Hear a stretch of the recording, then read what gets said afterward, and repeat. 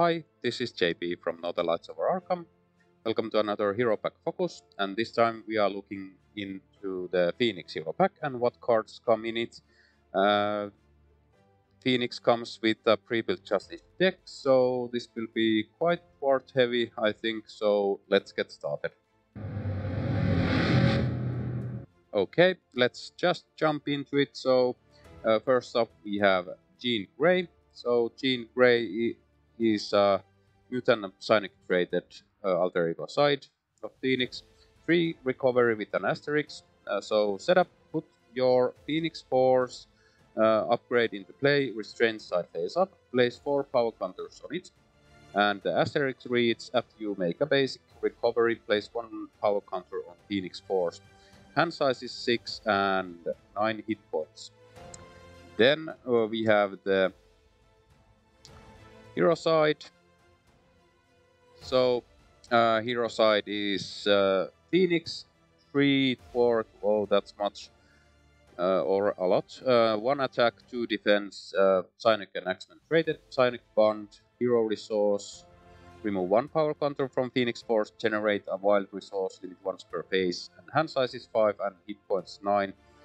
So, what does the Phoenix Force do? Let's see that next. So we have the upgrade, it is a permanent, so it, there's a dash for the cost. So Phoenix Force has the restraint side. Uh, it reads permanent, you gain the restraint trait, uh, restraint trait force response after the last power counter is removed from here. Flip this card, and this can't be committed because, but it just has the um, mental resource in it. Don't know why. then we have the upgrade uh, or the unleashed side of the Phoenix Force. It is permanent also. You gain the unleashed trait. Phoenix gets minus 2 thwart and plus 2 attack. Uh, force response after power counter is placed here. If there are 4 or more power counters uh, here, flip this card and this can be committed. Well, it can't be committed because it's a permanent. I don't know why there are resources here. Maybe some card says that you can use resource on your uh, existing upgrades. Or maybe there is one and I just can't remember. But it is what it is. Well, that is uh, Phoenix Force. So I think uh, Phoenix will balance with the uh, restrained and unleashed sides, uh, depending on the situation. Uh, next up, we have the signature ally, which is Cyclops. Uh, Cyclops is 3 cost ally with 2 thwart and 2 attack X-Men.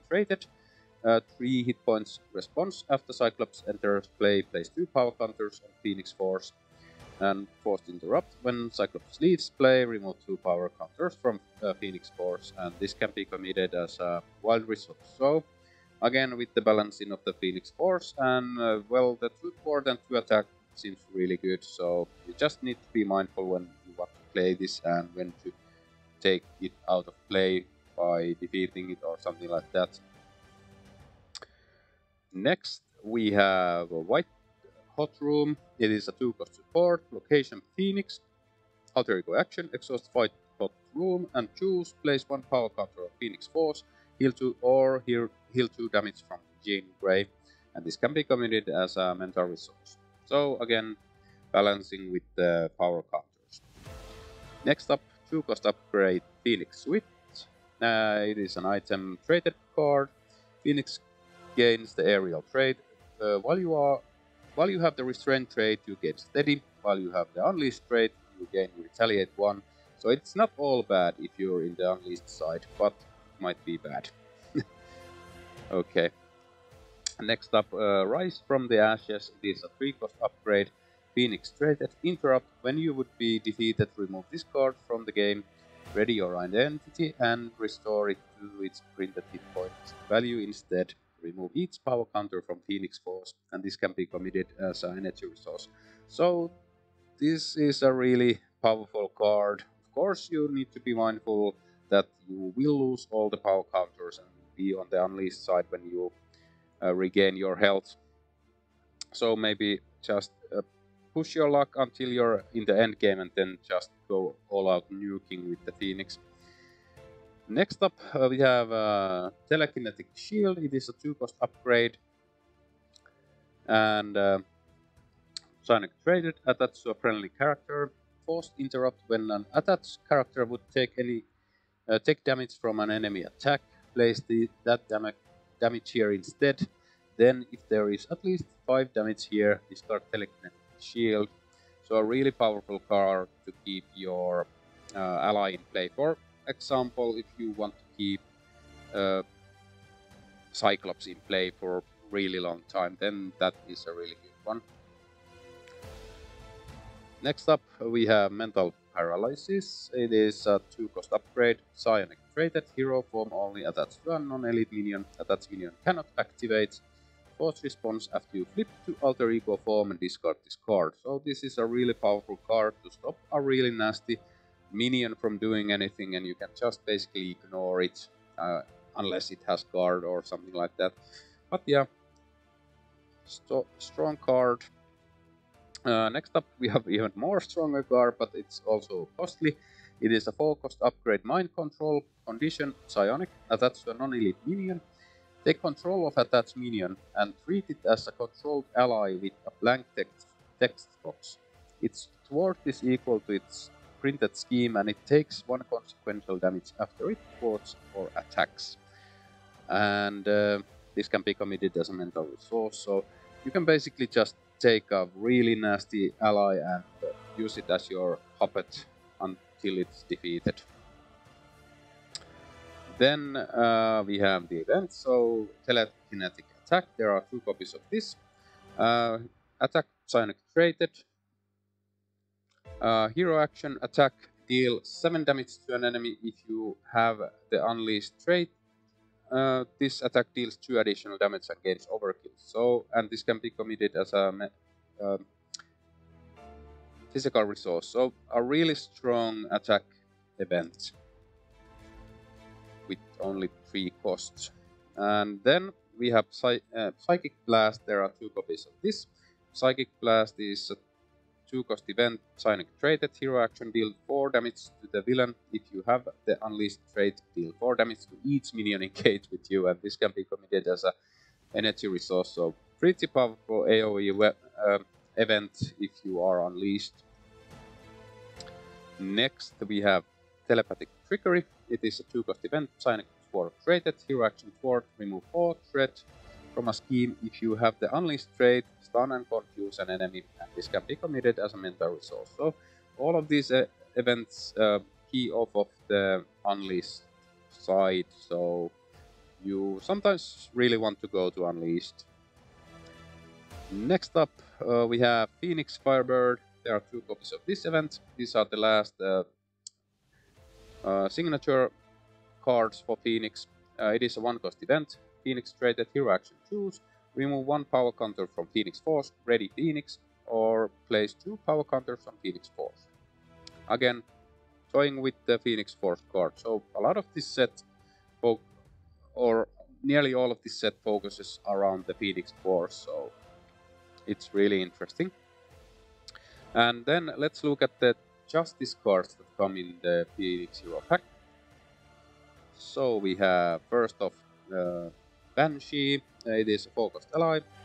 Uh, 4 2 with an asterisk and 2 attack aerial X-Men traded, uh, 3 hit points. Response after Banshee thwarts or use a minion. And this can be committed as an energy source. So, nothing really special, but I like to attack on a Justice ally. There are not that many of those. Next up, we have Marvel Girl. It is a 3 cost ally with 2 thwart and 1 attack with an asterisk. Psionic X-Men traded 3 hit points. Interrupt when Marvel Girl attacks a minion. Remove X threat from the main scheme where X is that minion's printed scheme. And this can be committed as a mental resource. So really, really good if you have high scheme enemies to attack. So really liking that card in specific situations. Uh, next up, we have a new training card. It is uh, uh, there are three copies of this. It is the mission training. It is a one cost upgrade. The training traded attached to an X-Men ally, max one training upgrade per ally. Attached ally gets plus one thwart and plus two hit points. and this can be committed as a mental resource. So pretty good for if you want to keep your thwarting allies around longer. Next up, uh, Psionic Manipulation, 3 copies of this. So Psionic Manipulation is a 3 cost event. Psionic Thwart traded, play only if your identity has the psionic trait. Interrupt when the villain schemes. This activation removes threat instead of placing it. And this can be committed as uh, energy resource. So really powerful, for example, if you have to go to Alter Ego, so you can safely go there, but keep in mind you have to have the psionic traits to play this. Uh, next up we have uh, Mutant Peacekeepers. There are three copies of this. Mutant Peacekeepers is a one-cost event. Thwart traded, play only if your identity has the X-Men trait Hero Action Thwart. Exhaust your hero and any number of X-Men allies. Remove X threat from among schemes in play where X is the total thwart of those characters. And this can be committed as a physical resource.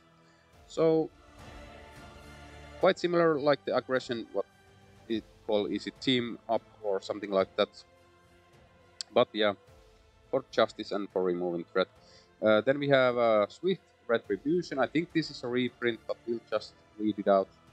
Uh, so Swift Retribution is a one-cost event. Attack created hero action. Attack villain schemes. Deal 4 damage to the villain. And this can be committed as a mental resource. So I think this only has new art. And there, this has uh, come up in a previous pack already. Next, we have uh, Passion of Justice, a new resource card for Justice. Uh, max 2 per deck. Interrupt when you spend this card to play a thwart event. That event removes one additional threat and it has the wild resource icon. So, really interesting. Next, we get new basic allies or basic cards. So we have a Storm. Uh, Storm is 5 cost ally with 2 thwart to attack. Asterisk in the thwart aerial X-Men traded, 3 hit points, reduce the cost to play Storm by 1 if your identity has the mutant or X-Men trait. And the interrupt is uh, when Storm thwarts a scheme, to move 2 threat from that scheme to another scheme, and this can be committed as an energy resource. So you can focus a big thwarting event or not scheme by piling on threat on that. Next, uh, we have Cerebro. So Cerebro is a one-cost support, location X-Men traded. Play only if your identity has the mutant trait alter ego action, exhaust Cerebro, search the top 5 cards of your deck for an X-Men ally, search your whole deck instead if you control a psionic character, and add that ally into your hand, shuffle. This can be committed as a mental resource, so pretty good for fetching out all of your uh, X-Men allies. Then we have the team up card for uh, Cyclops and Phoenix. So Psychic Rapport. Uh, it is two cost event. Team up Cyclops and Phoenix, max one per deck. Hero action ready. Cyclops and Phoenix choose to either return a Cyclops card from your discard pile to your hand, or place two power counters on Phoenix Force. And this can be committed as a energy resource. Okay. Then we have a reprint of Downtime with new art, then we have the basic resources with the new art for the X-Men. And that is the pre-built Justice deck. So looking pretty good. Next up we'll look at the obligation. So we have the uh, Phoenix's obligation, the Burning Hunger. Give to the Jean, Jean Grey player. When revealed, if you have the Unleashed trait, search the encounter deck, discard pile, and set aside area for Dark Phoenix and reveal her. Then remove Burning Hunger from the game. If you have the Restraint trait, remove one power counter from Phoenix Force and discard gain search, discard this card. That is a really nasty obligation. Because here is Dark Phoenix. So, Dark Phoenix is a minion, uh, 2 scheme, 2 attack, not bad yet. Cosmic Entity and Elite traded, 12 whopping hit points. So that is a lot. Steady, toughness, villainous. So this is the worst uh, uh, nemesis there is so far. Uh, when Dark Phoenix schemes, place that threat to consume the world if able. Well, we'll so soon see if that's bad or not. When revealed, just encounter deck, discard pile, and set aside area for consume the world and reveal it. Okay, here is consume the world. So uh, it is a side scheme, permanent, so it can't leave play anymore. Uh, while there is no threat here, this scheme loses the uh, boost icon plus icon. I can't remember the name for it. Uh, force response after threat is placed here if there is at least 12 threat here. Here, lose the game. So Phoenix, Dark Phoenix consumes the world. It comes into play with 6 threat on it and has 3 boost icons. So this is nasty. You don't want to see this come into play. And the last three cards are Fury Rage. There are three copies of this, and it is Peril, so nobody can help you to resolve it. Uh, when revealed, if Dark Phoenix is in play, she activates against you. If Dark Phoenix is not in play, place one threat on the on Consume the World, and this card gets searched. So, and this has two boost icons. So this is the worst uh, Nemesis deck there is so far, and you really don't want to see uh, Shadows of the Past when you're playing Phoenix. Let's look at the rest of the um, aspect cards that come in the Phoenix Hero Pack. So first off we have the Aggression card, uh, Psychic Assault, 3 copies of this. Uh, it is a 2 cost event, attack, Psionic traded, play only if your identity has the Psionic trait. Your action, attack, deal 3 damage to an enemy, confuse that enemy so, a decent um, attack event. You can confuse an enemy and go to alter ego to heal, for example. Like hit hit the villain and go to alter ego. That's that's actually a really good card for aggression. You don't usually want to go to alter ego with aggression, but with this it's safer. Next up we have the psychic misdirection. Three copies of this. It has it is 2 cost event, defense, psionic trait, play only if your identity has the psionic trait, hero interrupt, defense, when an enemy attacks you, choose a different enemy, damage from that attack is dealt to the chosen enemy instead of you. This can be committed as uh, energy resource. So, uh, for example, for those scenarios with multiple villains, this is really good, or for if, if it's a really minion heavy deck, uh, encounter deck, this is um, powerful car, car in those scenarios. Next, we have uh, Psychic Kicker, three copies of this. Uh, it is a zero cost uh, leadership event. Psionic, play only if your identity has the Psionic trait, hero action, ready an ally. That ally gets plus 2 support, plus 2 attack for its next basic thwart or attack action this phase. So, really powerful if you are boosting up an ally and you want to activate it twice per turn. Lastly, we have Soul Sisters. This is a team up card for Phoenix and Storm. There are actually two copies of this, so I bet there won't be this card in the Storm Hero pack. So, Soul Sisters is a one cost event team up Phoenix and Storm. Max one per deck. Hero action ready Phoenix and Storm deal 2 damage from each of them, and this can be committed as uh, energy resource.